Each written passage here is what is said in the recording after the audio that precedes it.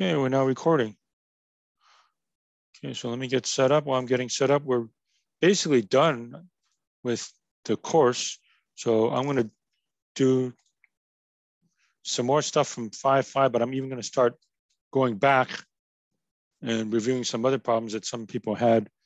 So in other words, it's almost like I'm not waiting for you to ask questions on Wednesday. I'm starting to get a jump on some of that. Okay, then when I think I've had enough, maybe around 9.30ish, I'll stop and give you the quiz, okay, which hopefully is pretty straightforward. So as usual, I'll put you in your breakout rooms. Um, Prasanna will float from room to room. I'll mostly be in the main room, although I'll sneak in from time to time also. Okay, so I'll lecture for a while, quote unquote. and then I'll give you the quiz. So game plan is Monday, I was going to review exams one and two, Tuesday, three and four, Okay, and if there's leftover time, I'll let you ask questions. Wednesday, dedicated for questions and answers. Thursday is our last regular ex exam. And then Friday, give you back uh, a review. So I won't make a new video for the exam five because that's what Friday the 21st is. We'll do that. And I'm not promising you that I'll grade all your exams by that very Friday, but I should have them by the weekend. Okay. And then you know what to study for the final exam. Okay, final exam, uh, just study the old exams most likely scenarios, I'll pick, say, three problems, four problems from each test. Three times five is 15, four times five is 20. Okay, so I'll pick, let's, let's say I pick three problems as an example, then I'll pick three problems from each test and use that to construct a final exam. You may have five formula sheets for the final exam. Okay, if you already have the cheat sheet from the first test, second test, third test, fourth test, and fifth test you're still working on, just bring them all. That's perfectly fine. Just bring the whole works. And if you want to add to them, you're allowed to add to them too. Okay. So any quick questions about that? Uh, let's see, anybody that just joined? Yeah, if you came late, put your name in the chat. I got you. Okay, so I'll lecture for a while and then we'll give you the quiz and then we're done. Okay, I'm not necessarily doing only 5.5, so I'm jumping back and forth. Okay, so 5.527. okay, the integral of x squared plus 1 times x cubed plus 3x to the fourth power dx. Okay, now you should know the way it works. The derivative of third degree is second degree. So that pretty much tells you how to set it up. Let u be this. Let u be x cubed plus 3x. And then what is the derivative? So it's like, ignore this now. What's the derivative of x cubed plus 3x? 3x squared plus 3 dx. Okay, but look at what I have, x squared plus 1 this is 3x squared plus 3. Yeah, but if I factor out the 3, right, this is 3 times x squared plus 1 dx. So that tells me to multiply by 3 inside and 1 third outside. Okay, so the next step, this is going to be a 1 third. This is u to the fourth. Then 3 x squared plus 1 dx, 3 x squared plus 1 dx, that's my du.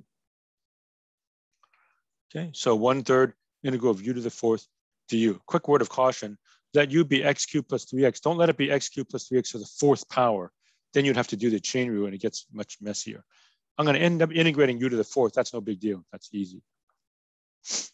Okay, it's an indefinite integral. That means your answer is blah, blah, blah plus c.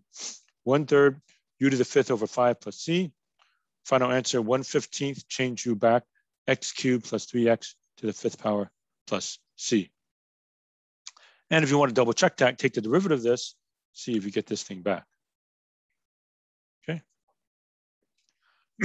All right, jumping back to 5.459b, some of you were still kind of stuck on what to do there. So I'll give you the highlights. Okay, so there was a velocity function, 3t minus 5, t going from 0 to 3. Part of the question asked for the distance and the displacement. Okay, so I had this picture, 0 comma negative 5. How did I get that? Plug in 0 three comma four. How do I get that? Plug in three. They said go from zero to three.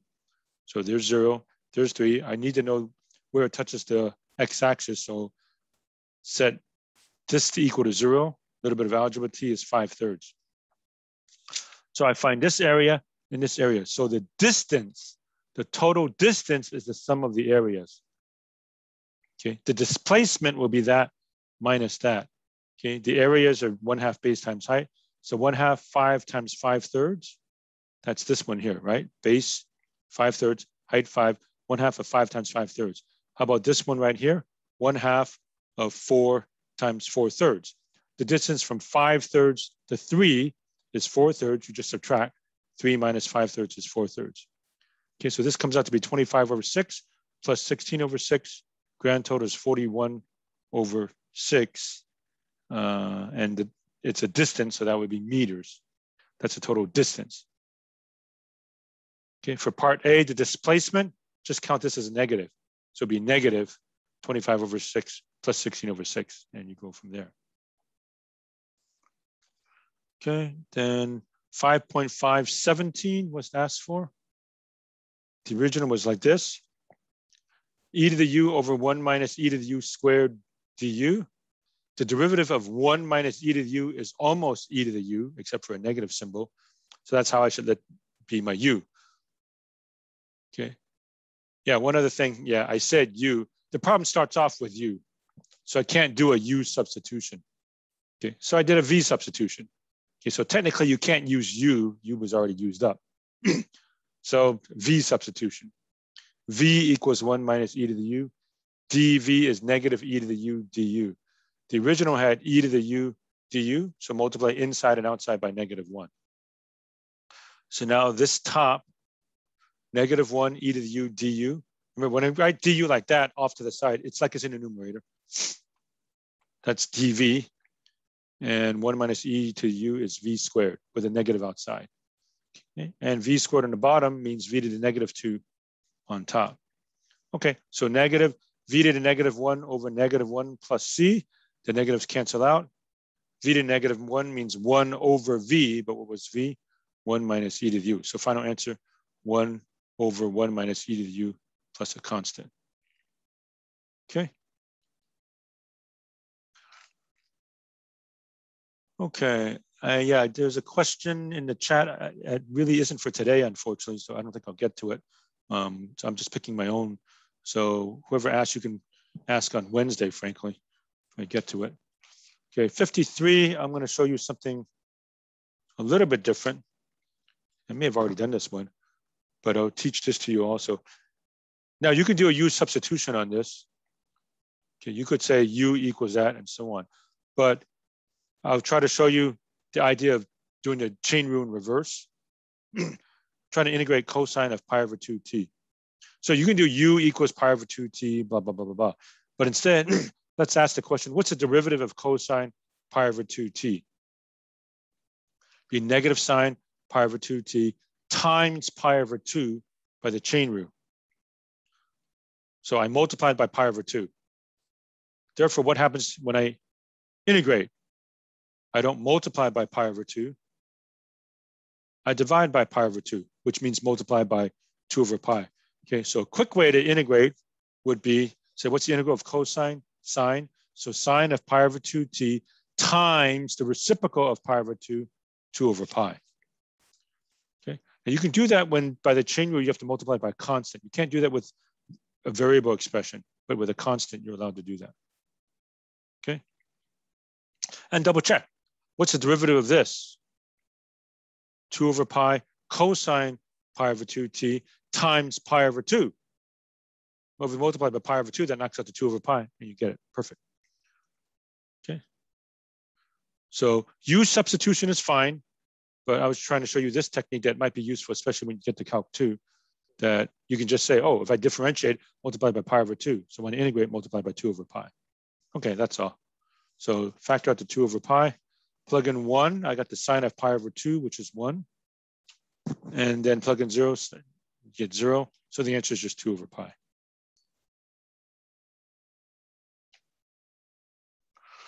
Okay, quickly, uh, 59, I think I already did this, so I'm going to go through this rather rapidly.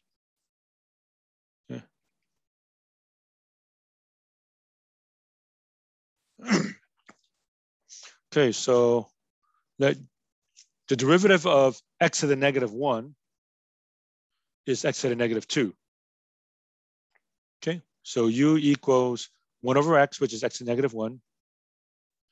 Du is negative x to negative 2 which is negative 1 over x squared dx. Okay, this is a definite integral. So I will change the limits. When x is 1, plug in u equals 1. x equals 2, u equals a half, okay? You can't change the order. The bottom has to stay the bottom, the top has to stay the top, even though it switches where the bigger numbers on the bottom and the smaller numbers on the top. That's the way it has to be. So negative integral from one to a half, e to the u du. Okay, but that's okay. Just take the negative applied to this, switch them around, right? That's one of the properties of integrals. The integral from a to b is the opposite of the integral from b to a. And now it's perfect. No negative, smaller number, bigger number, e to the u. Okay, so e to the u from one half to one, e to the one minus e to the half, e minus radical e.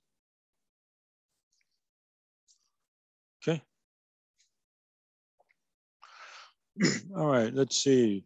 5.317. Okay, find the derivative. So the thing about this one is it's backwards. Constant variable, it's supposed to be variable to constant. So we know flip it, make that a negative. So negative integral from pi over four to radical x, which of course is x to the half. Okay, so the derivative is, it doesn't matter what this number is, as long as it's any number. Okay, put radical x here, radical x here. So negative radical x tangent radical x times the derivative of radical x, which is x to the half. So one half x to the negative half. So clean up the algebra. I got a negative radical x tan radical x. There's the one half, two there. Radical x on the bottom, that cancels these. So negative one half tangent square root of x. Okay, quickly about 39. okay, so I think I already did this also, so I'm gonna fly through this. One over radical three to radical three. Eight over one plus x squared, think of it as eight times one over one plus x squared, which is your inverse tangent. Take the eight out, inverse tangent of x from one over radical three to radical three. So it's eight times inverse tangent of radical three minus inverse tangent of one over radical three. You can look back in the notes, treat that as radical three over one, and then you divide top and bottom by two. Remember that trick? Okay, so this is pi over three, this is pi over six. Okay, here's the trick I showed you. If inverse tangent of radical three is theta, that means tangent of theta is radical three over one. Sine over cosine is tangent, divided by two. That means sine of theta is radical three over two, cosine of theta is a half. Okay, that sounds like 60 degrees to me. So that's pi over three. Do the same thing with this. So you have eight times pi over three minus pi over six. Okay, that comes out to be eight pi over six or four pi over three. Okay, and see, somebody asked a question about dropping an exam. okay, so let me get this quickly here. Okay, 700 points are possible on exams. Okay, 500 on exams, regular exams, and 300 for the final exam. So final exam is worth 300 points. Okay, you're only taking one exam of which you get a score between one and 100 and pretend you get it three times. Okay, so it goes like this, test one, test two, test three, test four, which you've already had, test five. Okay, you will take a final exam which in actuality, you're not really doing this, but it's graded as test six, test seven, and test eight, and your scores on all of these are the same. Okay, so if you skip the final, zero, zero, zero. If you get 100 on a final, 100, 100, 100. If you get an 80 on a final, 80, 80, 80. So out of these eight scores, whichever is the lowest gets dropped. That's the way it works. So that's what we mean by you could drop part of the final exam. So if you say, I'm just going to skip out on test five, I'm doing so well in all the others, that's okay. That's a little bit more pressure to do well on the final exam. That's all. Okay. We can go over the mathematics of this, but it takes too long, but it is in your best interest to do all the exams. Even if you got hundreds on all four exams, mathematically, it's better for you to take this exam and then there's less pressure to do well on the final exam. That's the way I constructed that. Okay, so that's the way the final exam works. So after you have your five scores, you have six, seven, and eight, which will all be the same score. You're not really taking three tests. You're taking one final exam score, of which you'll get a score between zero and 100. It puts down in the grade book three times. And then out of these eight scores, whichever is the lowest gets dropped. Okay, so hopefully that explains that. Okay, and I think that's as much as I was gonna do. I know some of you want, somebody wanted a question to be done. That really wasn't for today. That was gonna be for next Wednesday. If I happen to get to it, fine, but if not, that's that. So any other quick questions? Otherwise, I want you to have the rest of the time for the quiz. And that's about it. Okay, so any other questions? Otherwise, it's quiz time. Right, so get ready to have your uh, cameras or screenshots ready. Now, over me, I actually have to stop to share and then share again. So bear with me as I try to get this.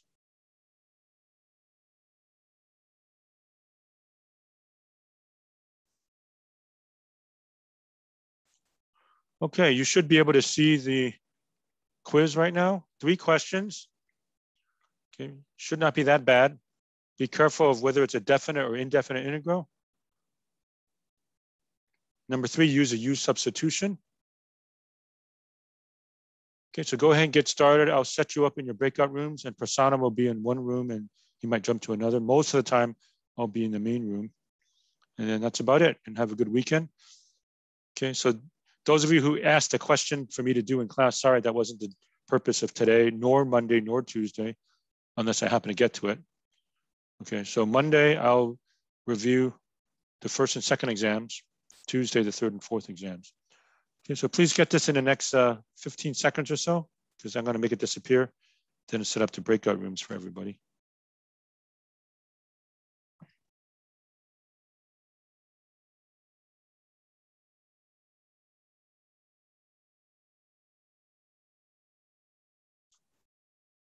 Okay, I will now assume that everybody has this. So I'm going to close this and set up your breakout rooms.